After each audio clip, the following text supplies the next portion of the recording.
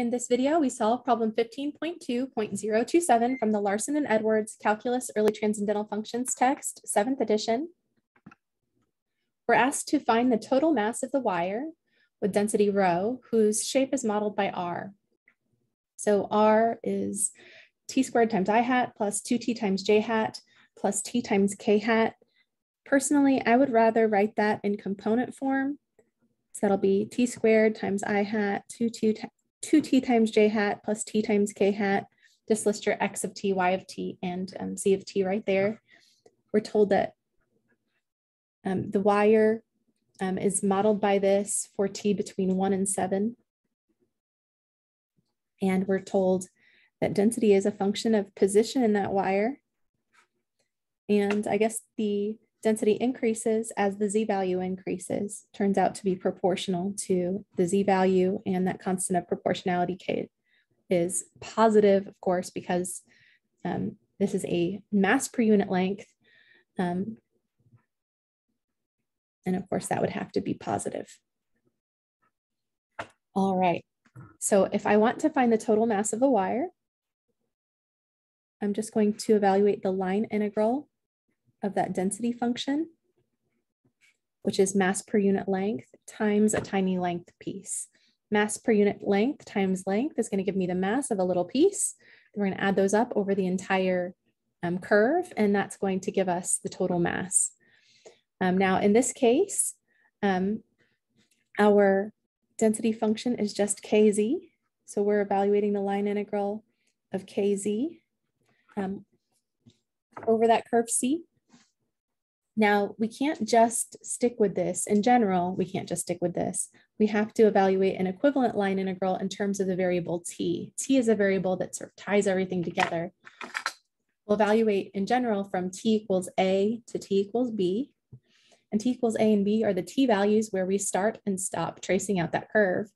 So in our case, um, a is equal to 1 and b is equal to 7 because we start at t equals 1 and we end at t equals 7. And then we'll take this density function, which is a function of x, y, and z, and we'll write that in terms of t just by using the parametric equations of that curve. We'll replace the x with x of t because we know that when we're on the curve, x is given by t squared. So we would replace all the x's with t squared or x of t in general. We would replace all of the y's with whatever y is in terms of t. In our case, that would be a 2t and we'll replace all the z's with whatever z is in terms of t. In our case, that'll just be a t. And then this ds is a tiny length or tiny distance traveled along that curve. That tiny length is given by uh, the magnitude of r prime times dt. That's our ds in terms of t. Now, if R was a position function, and I know it's not in this context, but if it were a position function, um, the derivative would be velocity and this would be speed times time. So even though that's not appropriate in this case, we're not dealing with a position function here. I'm thinking about it that way can help you remember that, that that's what our formula is. Some tiny length would be um, that, or some, some tiny distance traveled along the curve, excuse, excuse me, would be um, some speed times the tiny time interval. Okay, um, so that is what we're doing for this particular um, function. We'll use the values of t that were given to us. We start at t equals 1, we end at t equals 7. Then we need k times z in terms of t. Let's k times t in our case. z is equal to t. We sub that in. And then we'll have to multiply by the magnitude of r prime of t. And it's a little bit more involved this time because R prime or R of t looks like that. So let's um, do that computation down here. Got R, which is this. Then we need to take the derivative of R. Remember when you take the derivative of a vector valued function, you take the derivative term by term. And then we want the magnitude of that. So remember what we do to find that magnitude. We take the components. In this case, we've got three components. We square them, we add them and take the square root. If you're squaring a product, you want to square the first factor and the second factor. So we end up with the square root of 4t squared plus, uh, 5 there. That is our r prime of t. So our mass integral turns out to be the integral from 1 to 7 of k times t times this, which I can replace with the square root of 4t squared plus 5. And then we just look at that like a Calc 1 integral and we say to ourselves, how do we evaluate that? Well, first of all, k is just a constant, so we could factor that out. And I notice I've got a product. I've got t times this, this square root function. Now, since I have a function nested inside another function, I think to myself, u substitution is probably a good choice. If u substitution works, u is usually a function nested inside another function. So I would guess that u is equal to that inside function there, 4t squared plus 5. Now, we're never really sure that works until we compute the derivative of that. We don't have to always write it down, but we can compute that derivative in our head. We say the derivative of 4t squared is going to be a constant times t, and I've got a t there, so the u sub will work. When we actually compute that derivative, we get 8t. So du is 8t times dt. We can always adjust the constant. I don't have an 8 up there, that's okay. If I want to solve this for um, t dt, I'll divide both sides by 8 or multiply by 1 8, the same thing. And so I have t dt is 1 eighth of du. All right, so now we're almost ready to write the integral entirely in terms of u. We just need some new bounds.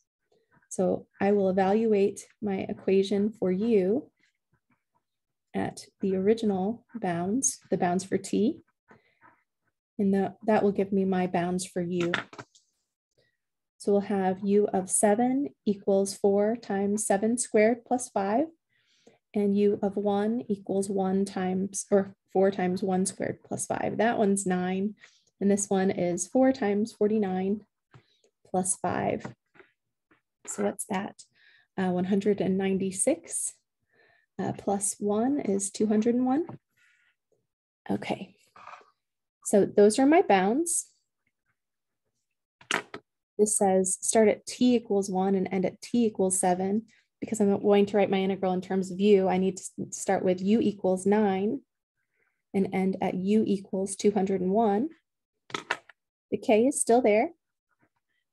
And that t dt can be replaced by 1 eighth of du. I am literally writing 1 eighth of du instead of that t dt. I'll just factor that 1 eighth out to the left and put my dt off on the far right. And then the only thing that's left is that u inside and we're taking the square root of that. So that's a u to the 1 half power. All right. So now we've got this k over 8, which I'll just bring outside. And we can take the antiderivative of this using the power rule, add 1 to the exponent. 1 plus 1 half is 3 halves. And then we divide by the new exponent. Dividing by 3 halves is the same as multiplying by 2 thirds. 2 goes into 8 uh, four times. Then we'll evaluate this from u equals 9 to u equals 201. So I will have a k over 12 out front. And then I have this 201 to the 3 halves power. And this is something you'll see me do a lot if you watch my videos often. Um, if I have something to the 2 thirds, or excuse me, 3 halves power, um, I think of that as itself times uh, the square root of itself uh, because one plus one half is that three halves. And so when I see 201 to the three halves, I'm thinking 201 times the square root of 201. And then over here, I will subtract uh, 9 times the square root of 9, and the square root of 9 is 3. So that turns out to be a 27. So the mass of our wire that lies along uh, the graph of R of t is k over 12 times 201 times the square root of 201 minus 27. And that's it. That's how we evaluate that line integral.